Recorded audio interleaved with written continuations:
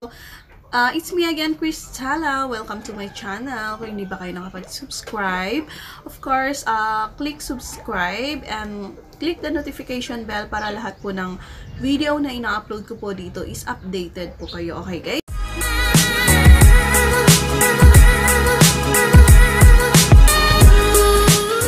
So, uh, today is Sunday. Uh, kagagaling ko lang sa church.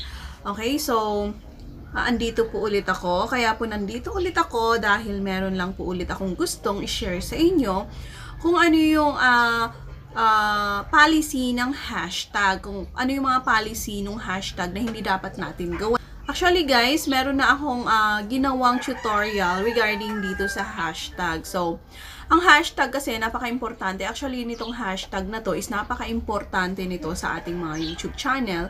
Kasi, sabi nga ni YouTube, nakakatulong siya para magpadami ng ating viewers. So, hindi ibig sabihin na umasa lang po tayo dun sa hashtag sa pagdami ng ating mga viewers. Okay? So, uh, kaya, ganun ka-importante ang hashtag. So, ang isi-share ko naman sa inyo ngayon guys is uh, ano naman yung uh, hashtag policies.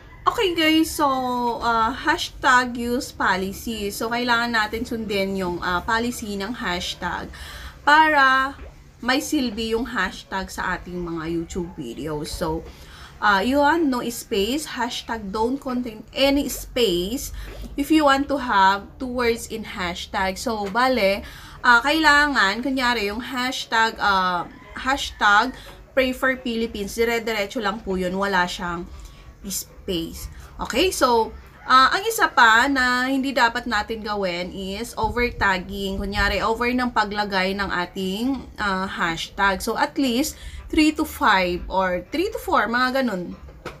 Ang ilalagay lang natin na hashtag sa ating mga YouTube videos. So, the more tags kasi, uh, the more tags you add to a videos, so yun is uh, the less relevant they become for viewers who are searching. So if a view if a video has more than 15 hashtag, we'll ignore all hashtag on that video. Pag ang video natin is more than 15 hashtag, we'll ignore all hashtag on that video. So guys, uh, pwede tayong maglagay ng hashtag pero at least not nasa 3 to 5 hashtag lang. Kasi useless pag nilagay po natin yung napakaraming hashtag sa ating YouTube titles. Okay, so, and then, uh, isa pa, hindi natin kailangan gawin dun sa pag-hashtag is, um, dapat ang ilagay nating hashtag is related po dun sa video na in-upload po natin. So, kunyari, ang uh, ang nilagay po ninyo is about diet. So, at least, um, kunyari, hashtag diet, ganun, or hashtag healthy fitness, mga ganun po yung dapat nating ilagay. Huwag po tayong maglagay ng uh, hindi related doon. Kasi yung hashtag mo, mababaliwala po yan. And then, of course, ang ayaw po ni YouTube, yung mga hashtag na uh, yung mga purpose purpose niya is harassing. So, yun, alam naman po ninyo yung hindi magandang word na hashtag. So, yun, yun ang dapat na hindi natin gawin sa paglalagay ng hashtag. Kasi, kung na-over tagging or na-over kasi yung paglagay ng hashtag, mawawalan din po ng uh, walang silbi po yung hashtag na nilagay sa nilagay natin sa ating mga uh, YouTube videos. Okay, guys? So, number one po, yan po, over tagging. Number one po, wag na wag na po natin gawin. Kahit tatlo, lima, basta ang importante related po sa ating um, video.